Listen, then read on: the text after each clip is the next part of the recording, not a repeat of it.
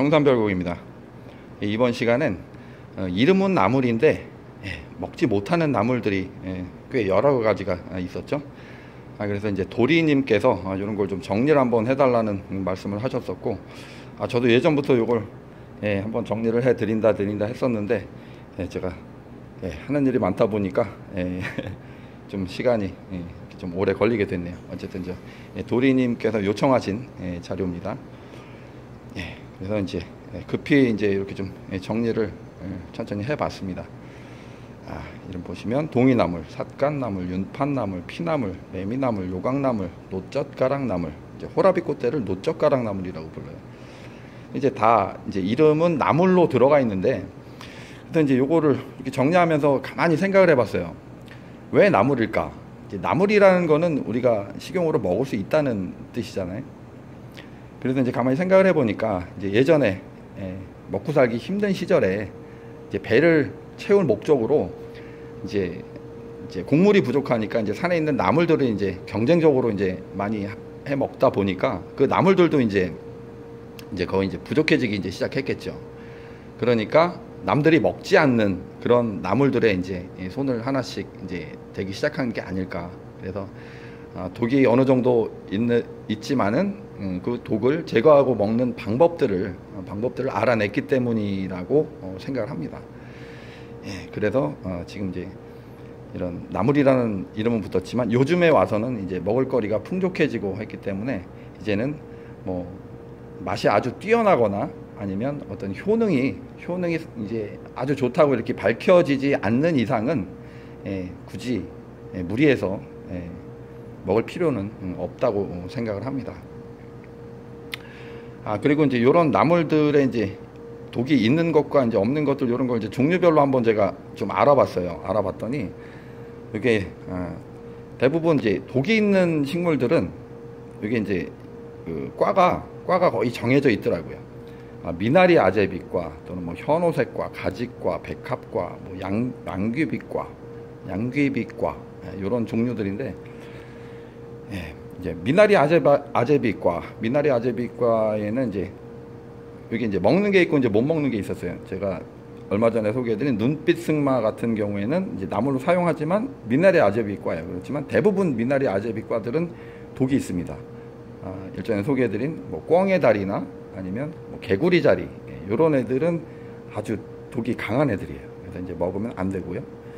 그리고 이제 현오색과 현오색과에는 이제 기본적으로 현오색들은 거의 다 독이 많아요. 그런데 현오색과 중에서 산괴불 주머니라고 있는데 그것도 독이 있습니다. 독이 있는데 요거는 나물로 먹었다는 기록이 있어요. 그래서 보니까 어, 다른 현오색과들에 비해서 이 산괴불 주머니는 이 크기가 상당히 굵고 커요. 상당히 실하기 때문에 이걸 나물로 이제 배를 채우기 위해서 그 독성을 제거해서 나물로 사용을 하셨던 것 같아요. 예, 어디까지 제 생각입니다. 음. 예, 그리고 이제 가직과 이제 가직과도 이제 여러 가지가 있는데 이, 그동안 제가 소개를 못 드린 애들도 있어요. 아, 아마 여러분들 많이 아실 거예요. 지금 우리 구독자분들이시다면 꽈리, 꽈리 아시죠? 꽈리. 예. 꽈리는 열매, 그 붉은 열매는 독이 없어요. 그래서 그건 제가 과일로서도 상당히 좋아하거든요. 하지만 식물체에는 그 식물체에는 독이 있습니다. 그래서 나물로 사용을 하지 못해요.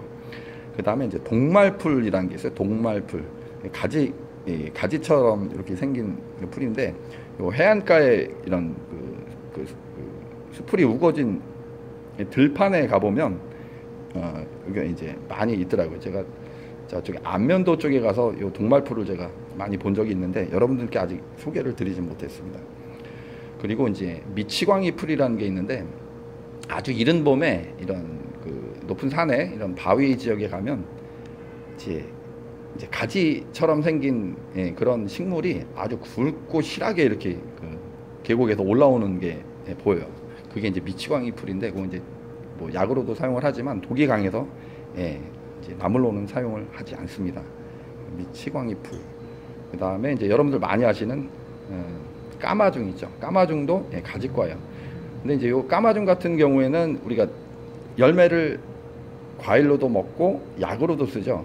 애들 이제 소변 이제 소변 잘 보게 하는데도 이제 약으로 쓰는데 요 식물체를 나물로 이용을 하기도 합니다. 네.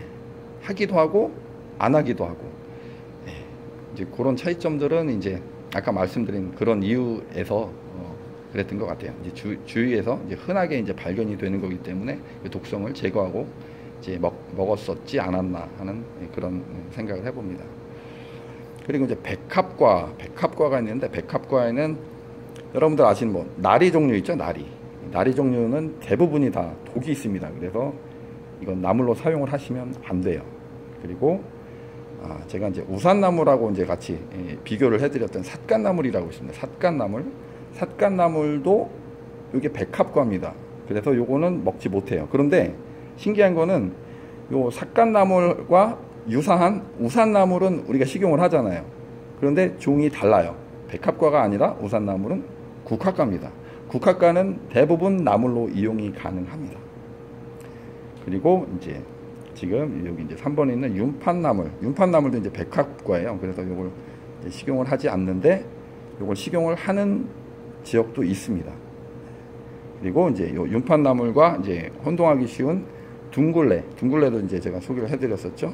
근데 둥글레도 백합과인데 요거는 독이 거의 없습니다. 그래서 이건 우리가 쉽게 나물로 어, 사용을 하고 뿌리는 뿌리는 이제 뭐 밥에 넣어 먹기도 하고 이제 뭐 차를 끓여 마시기도 하는 예, 그런 용도로 어, 사용을 하죠. 그리고 이제 양귀비과, 양귀비과에는 여기 이제 피나물 그리고 이제 매미나물 이런 애들은 이제 예, 양귀비과에 들어가요. 그리고 이제 여기 요강나물, 요강나물, 아, 요강나물, 요거는 그 미나리 아제비과에 들어갑니다. 그 다음에, 자, 호라비꽃대는 노젓가락 나물이라는 이름으로 나물로 많이 사용을 합니다. 하는데, 이것도 약간 독성이 있다고 해요. 이것도 이제 주의를 하셔야 되는데, 아, 아, 저 같은 경우에는 이제 나물로 사용을 할 때, 아, 지금 이제, 요런 지금 여기 있는 나물들은 제가 거의 사용을 하지 않습니다. 사용을 안 해요. 대신에 이런 거 말고 이제 또 이제 나물 중에 그 독이 있는 애들이 있어요. 자리공 종류 있죠, 자리공.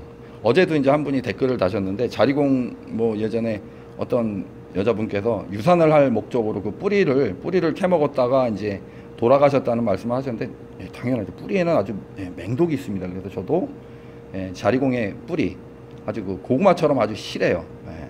그 뿌리는 저도 살충제를 만드는 데 씁니다. 진딧물 같은 거 잡는데 액비 액비로 제가 예, 사용을 하거든요. 근데 이제 자리공 같은 거 이제 무지 뿌리는 독이 강하지만 식물체는 연할 연할 때 처음에 올라올 때는 독이 거의 없거나 약해요.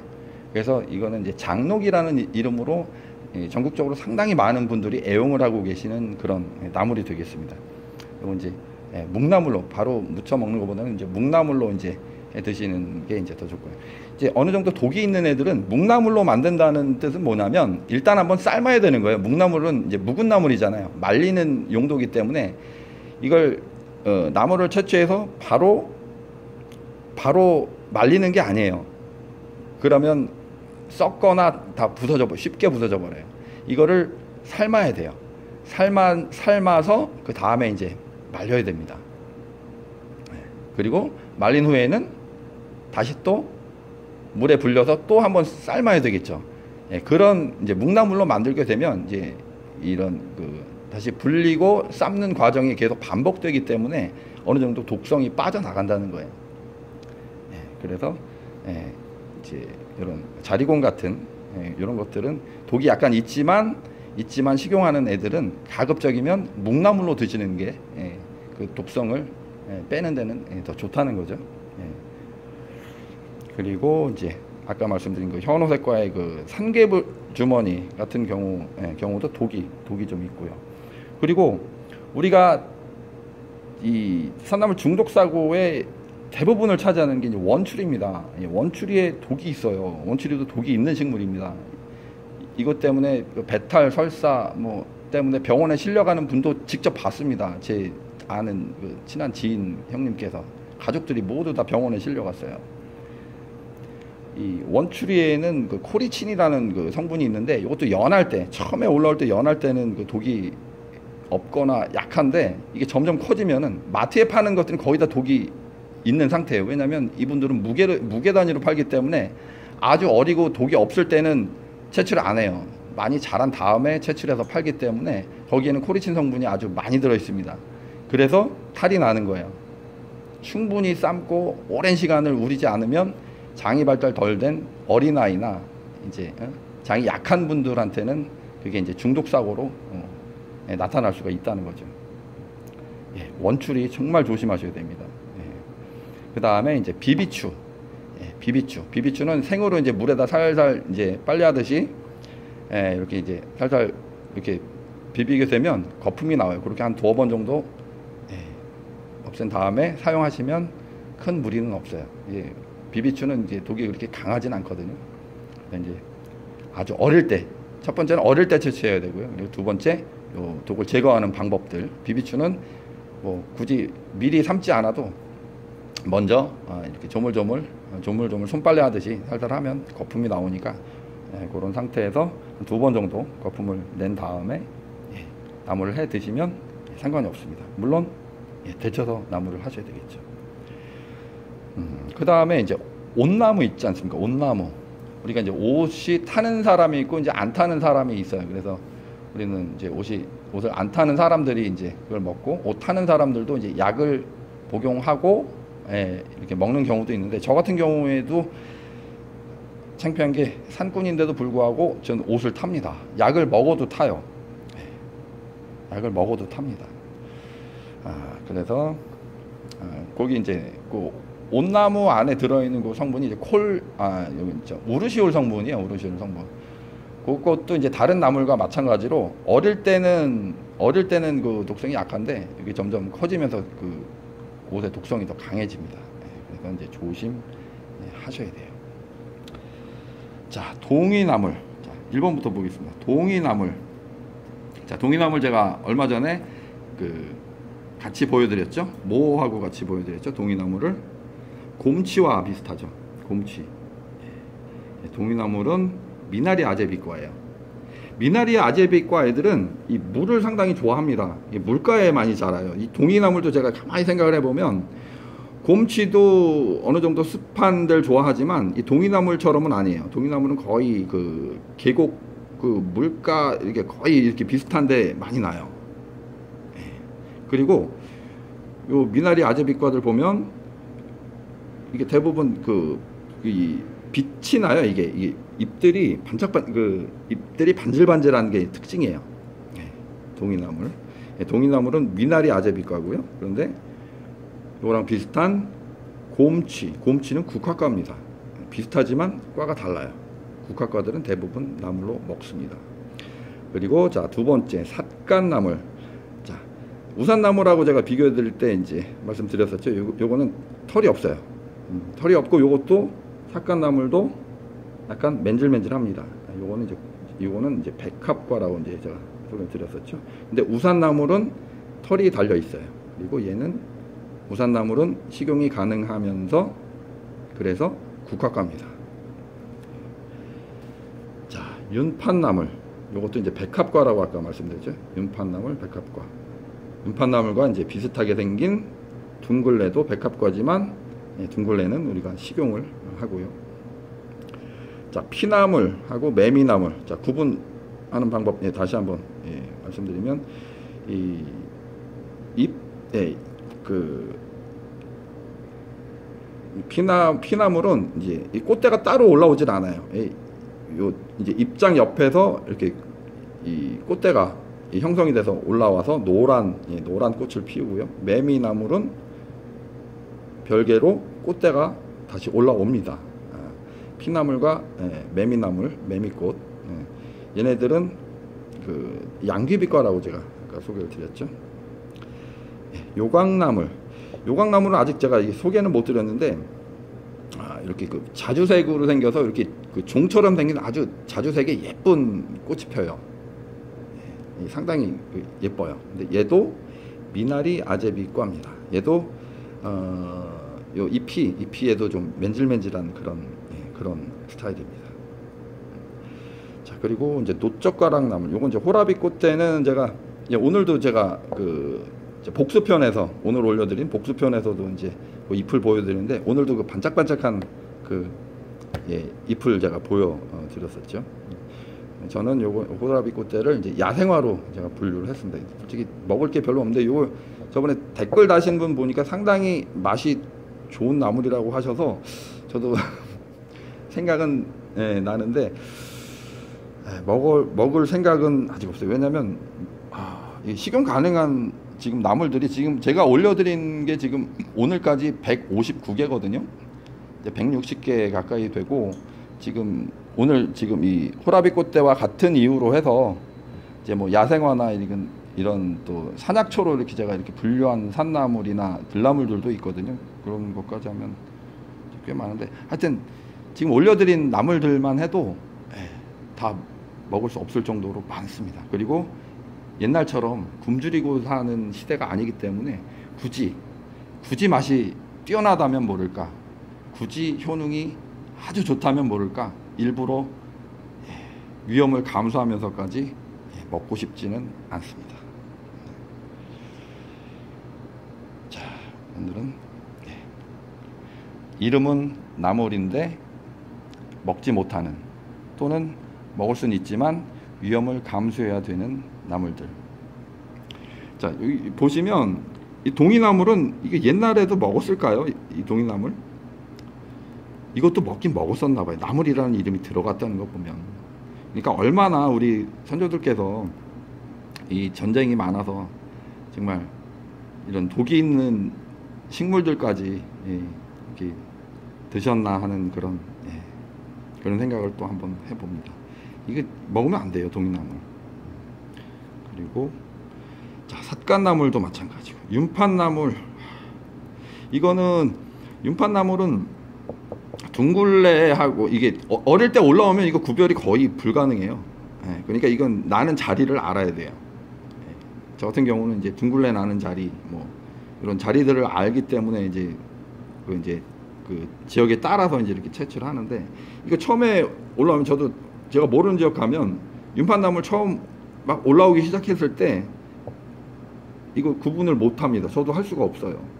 좀 더 자라야만 알 수가 있어요.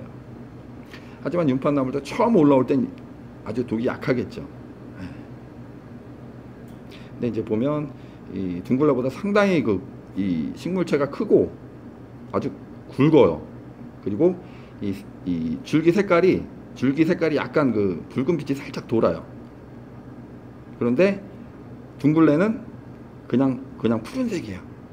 밑에 뿌리 윗부분부터 전부가 다 일체가 그 푸른색이고 윤판나물은 밑에가 약간 붉은 붉은 빛이 쭉 돌아요. 네, 그런 차이가 아, 있더라고요. 아, 뭐 모르고 또 이렇게 섞어서 드실 수도 있어요. 방법은 그거예요. 한 나물만 한 나물만 이렇게 몰아서 드시지 말고 이것저것 여러 나물들 조금 조금 섞어서 드시면 그런 사고들 방지하실 수가 있어요. 아 그리고 참 제일 중요한 거 제가 오늘 오늘 제가 복수편을 복수편을 하다가 제가 참나무를 소개해드리면서 그 바로 옆에 있는 그 천남성의 맛을 제가 아까 본 적이 있습니다. 절대 여러분들 이거 따라하시면 안 돼요.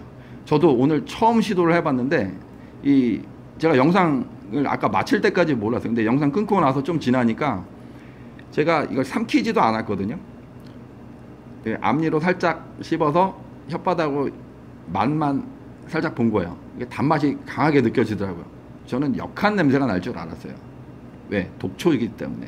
장입인 사약 재료로 사용할 만큼 어마어마한 가- 독을 가진 맹독성 식물이기 때문에 저도 아주 주의를 해서 살짝 맛을 보고 다 뱉어버렸거든요.